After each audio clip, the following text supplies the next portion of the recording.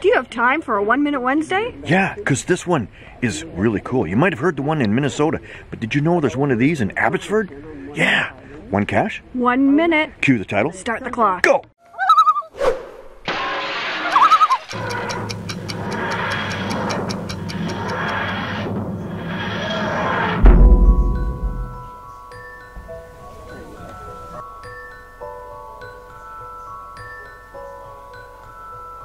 Oh my gosh. Yeah, it is much bigger inside. Holy doodle. Wow. Okay, the code number is.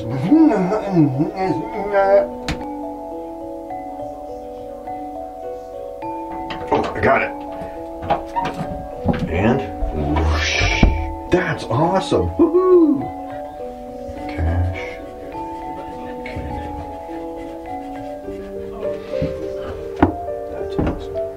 Hello? Hello? Oh, I think it's Doctor Who.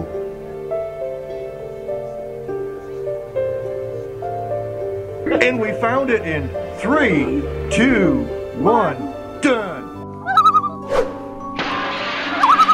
Hey, do you got time for a One Minute Wednesday? Yeah, because this would.